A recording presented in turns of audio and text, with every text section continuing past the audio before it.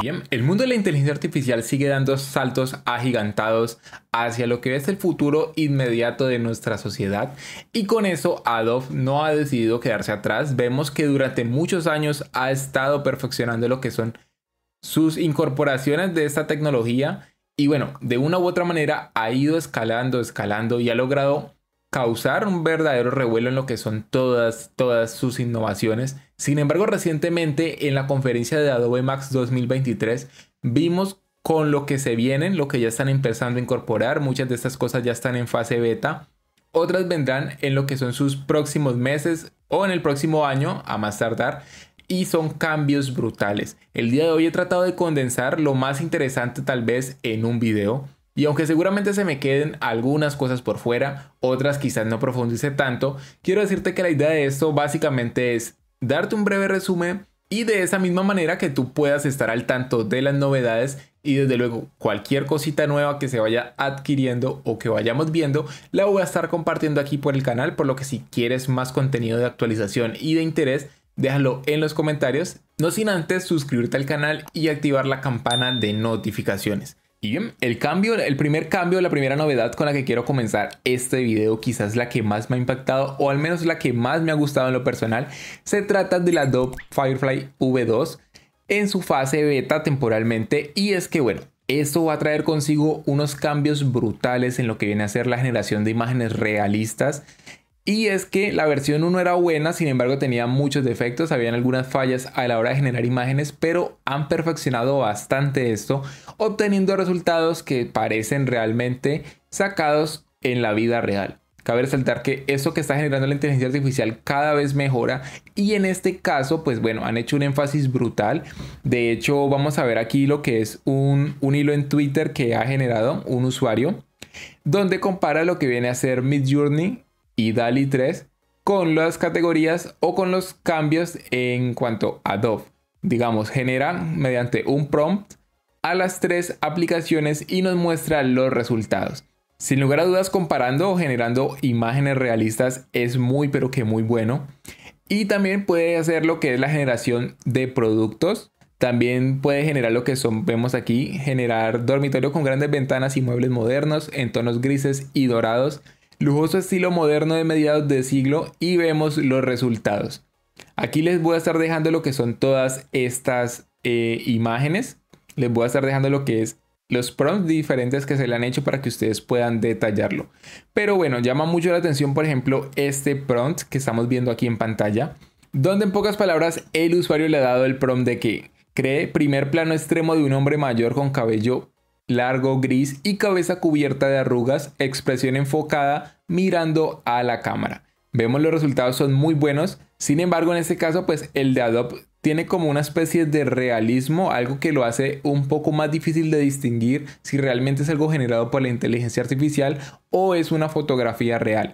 A eso básicamente es lo que le están apuntando. Lógicamente, pues esta IA también te ayuda a crear lo que son imágenes didácticas, también te ayuda a crear lo que son ilustraciones de vectores. Entonces, pues eh, quiero dejar eso en claro para que de pronto no se genere esa confusión. También vemos por aquí, he tomado apuntes de algunas cosas porque realmente como les digo es mucho.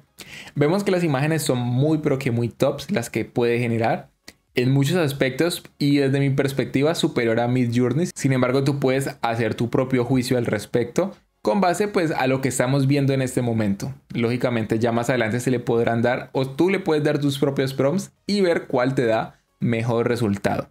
Otra función bastante interesante que están incorporando es que nos va a permitir cargar imágenes de referencia. Con base a esto lo que quieren hacer en pocas palabras es que nosotros podamos, si ya tenemos una imagen eh, de referencia, la podemos subir y creamos el prompt para que nos dé resultados que se asemejen mucho a lo que ya tenemos. Esto va a ser bastante interesante y bueno, ya lo habían incorporado otras como lo puede ser ChatGPT en su versión más actualizada y de hecho Midjourney lo tiene incorporado hace un tiempo, sin embargo los resultados aún se alejan de lo esperado. Este va un poquito más allá, digamos, pues al ser una versión más reciente logra eh, suplir o corregir ciertos errores que estaban cometiendo las anteriores plataformas y allí vemos un gran avance.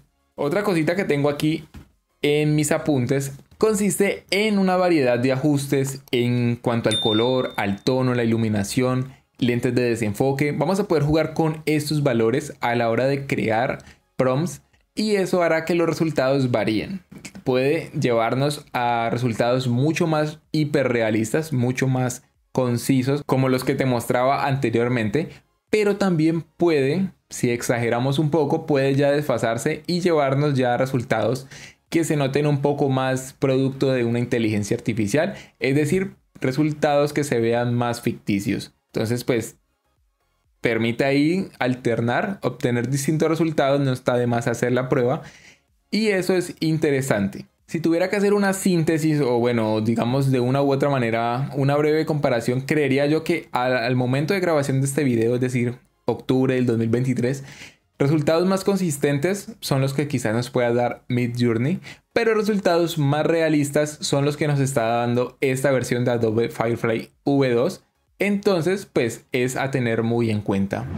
También en esta conferencia eh, dijeron, dieron a entender que están trabajando fuertemente en lo que es la generación de de texto a video, es decir, ya tenemos la opción de generar prompts y crear imágenes. Quieren hacer lo mismo con video y sería algo bastante interesante. Y además están también intentando hacer lo que es de imagen a video. Ya están trabajando en eso y eso quizás es algo que salga muy pronto.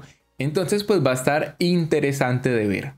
Por supuesto, los cambios no han sido solo en esta plataforma. Vemos también que en Premiere han incorporado pues lo que es la opción de reducirnos mucho tiempo al editar, gracias a que, bueno, podremos ir modificando el texto. Si de pronto hemos cometido un error, pues mediante inteligencia artificial podemos cambiar eso. Y también vamos a poder agregar palabras que de pronto no hayamos dicho. Y eso también es interesante ver cómo le están trabajando de esa manera a que una inteligencia artificial pueda rellenar los fotogramas que hacen falta para que se nos den los resultados que esperamos. Otro cambio bastante interesante se dio en Illustrator y es que ahora vamos a poder crear vectores a partir de prompts. Vamos a poder hacer eso que realmente era una tarea muy difícil porque si ustedes se dan cuenta o bueno si no lo sabían, generar un vector es tedioso porque tenemos que hacer punto píxel por píxel de la imagen, es decir, tenemos que ir uniendo puntos hasta que se pueda vectorizar dicha imagen. Y entonces es un proceso que puede tomar bastante tiempo, pero ahora vamos a poder generar prompts que nos creen directamente los vectores y también así poder utilizar imágenes de referencia para obtener esos vectores mucho más ligados a lo que nosotros estamos buscando específicamente. La clave para eso obviamente es saber redactar prompts, por lo que si no sabes pues tienes que irle practicando más y más, ir hilando, digamos, tu búsqueda hacia lo que estás eh, queriendo encontrar específicamente y de esa manera vas a perfeccionar muchísimo con este tipo de inteligencia artificial. Otra de las novedades que llamó muchísimo la atención entre la audiencia que estaba presente en esta conferencia y entre bueno, los miles de espectadores que han podido verla a través de YouTube, como en mi caso, se trata del Adobe Fast Fill y es que bueno, sinceramente es un proyecto en el que están trabajando, en el que cuando hicieron la demostración parecía que era una imagen donde en pocas palabras pues se dedicaban a eliminar unas personas que estaban en el fondo del video y esto Aparentemente, pues al darnos a entender de que era una imagen, pues no llamaba mucho la atención. Pero la sorpresa se dio cuando luego de que la inteligencia artificial procesara, digamos, el fondo sin esas personas, devolvieron y resulta que no era una foto sino un video y lo que hizo la inteligencia artificial fue eliminar a esas personas de todos los fotogramas, de todos los frames del video y bueno, realmente fue sorprendente. Le están trabajando duro a esto para, bueno, de esa manera obtener resultados mucho más interesantes. Eso no fue todo, ya que también mostraron el caso de una persona que iba descendiendo por unas escaleras con una simple camisa y lo que hicieron fue generarle una corbata mediante inteligencia artificial y esa corbata pues lógicamente integró todos los frames del video, estuvo presente en toda la secuencia y fue interesante ver cómo incluso aunque habían cambios de luces, es decir, aunque en algunos momentos el brillo, la intensidad solar se vio que afectó, se adaptaba perfectamente. Es decir, en ningún momento parecía un montaje, todo lo contrario. Y bueno, es bastante llamativo ver cómo con esto van a empezar a incorporar más y más novedades.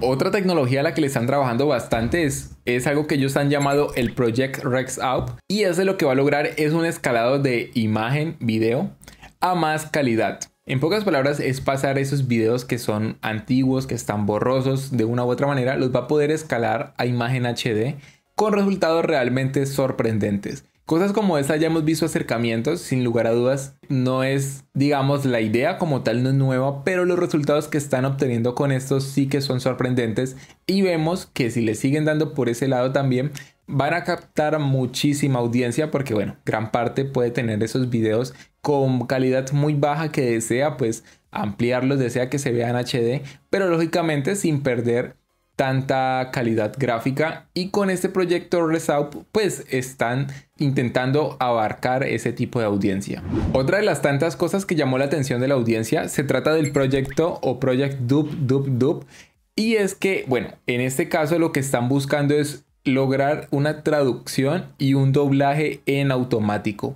Y es que aquí lo que se busca es que, bueno, nosotros podamos darle un video que esté en nuestro idioma natural y la inteligencia artificial automáticamente lo que haga sea el proceso de traducción a distintos idiomas. Y si nos damos cuenta, eso es algo que sería muy productivo para personas que de pronto pues tienen canales en otro idioma y ya quieran traducirlo automáticamente, pues bueno, mediante esta inteligencia artificial podría ser esto posible y ahí le están trabajando fuertemente a eso. Ya para ir finalizando este breve resumen, quiero hablarte también de otro proyecto que me llamó mucho la atención, se trata del Project Stardust del que quizás también vamos a estar hablando más adelante. De todos estos proyectos es probable que más adelante hablemos mucho más a fondo, entonces por eso te invito siempre a estar pendiente del canal activar las notificaciones y suscribirte para que bueno, no te pierdas nada de esto.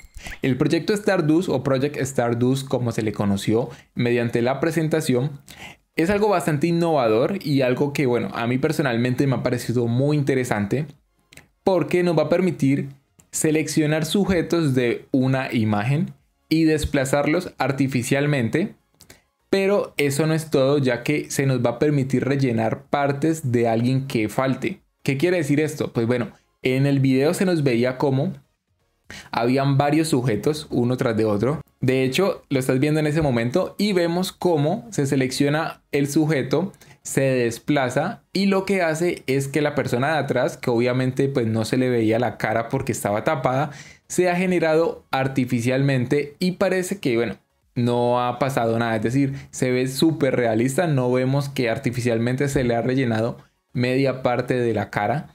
Y eso es interesante porque, bueno, de esa manera vamos a poder complementar muchísimos entornos. Y es sorprendente cómo nos cuesta en algunos casos ver que se está tratando de inteligencia artificial y que no es un producto natural. Realmente ya las diferencias son casi imperceptibles y creo que realmente a eso es lo que le está apuntando Adobe.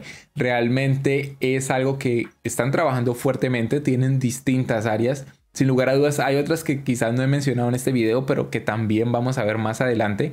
Y vemos cómo el constante camino, la constante evolución los está llevando a progresos bastante elevados. Desde luego, si te ha gustado este resumen, si quieres ver más contenido relacionado con inteligencia artificial, con noticias tecnológicas y con todo lo demás, pues invito a que te suscribas al canal, actives la campana de notificaciones, ya que trataré por aquí de traerles lo más relevante. También explicarlo de una manera un poco fácil porque a veces se emplean conceptos muy técnicos que personalmente yo a veces ni los entiendo y que soy consciente de que muchos otros también les cuesta entenderlo. Y realmente creo yo que lo más interesante o lo más chévere es poder familiarizarnos con esto, ver cómo la inteligencia artificial poco a poco hace parte de nuestra vida con más frecuencia y cómo podemos nosotros sacarle provecho, sacarle más partido y obtener sus rendimientos más elevados. Así que si te interesa esto, pues ya te he dicho qué debes hacer. Por supuesto, házmelo saber también en los comentarios qué te gustaría en un próximo video. ¿Cuál ha sido la noticia que más te ha llamado la atención de esta conferencia de la Adobe Max? Por supuesto también deja en los comentarios qué te pareció, si te gustaría ver alguna otra herramienta o algún video en especial. Y te invito a que valores con un gran like y compartas con tus amigos que crea que les puede hacer de interés este tipo de contenido. Ahora bien, esto ha sido todo por hoy, pero ya nos veremos en un próximo video.